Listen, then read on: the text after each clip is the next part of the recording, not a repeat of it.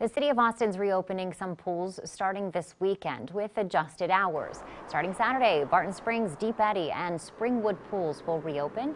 Big Stacy Pool and Bartholomew pools reopen Sunday. Some are only open a few days a week. Barton Springs Pool is the only one that'll be open every day. You can find this schedule at kxan.com.